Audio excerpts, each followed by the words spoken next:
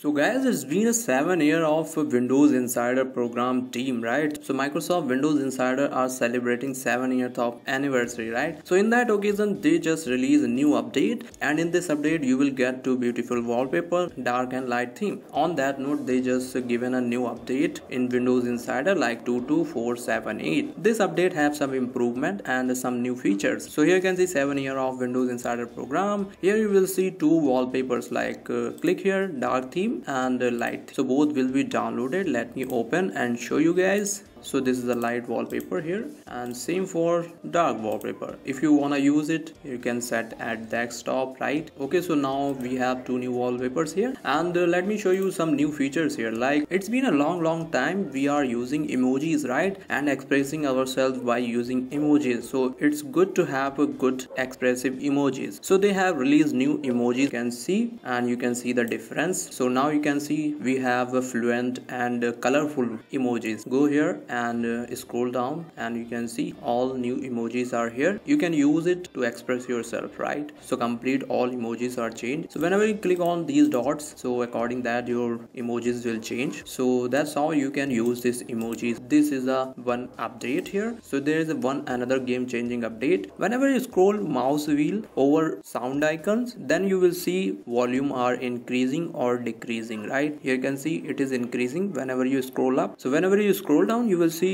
it is decreasing right? So this is a great thing here. So the best use it like you want to change your audio instantly you can just hover here and uh, scroll your mouse wheel and uh, it will up and down. Okay so there is another update related to some dialog box. Go here settings and go to time and language. So whenever you click here language and regions here you can see add a language. Then you will see updated ui of this uh, language dialog right? You can search here. Whatever the language you want to add you can add. So okay so these are the two three new features in that. So there is another optimization right? Like uh, they have improved the indexing of your drives. It will optimize your drive and uh, reduce the disk usage. So you will get more space in your drive. So as you can see on their blog they already mentioned what are the new things here and what are the fixes. Mostly bug fixes are here. And here you can see most of the fixes related to start menu taskbar and file explorer. And there is some issue with your widgets. Like whenever you open opening your widgets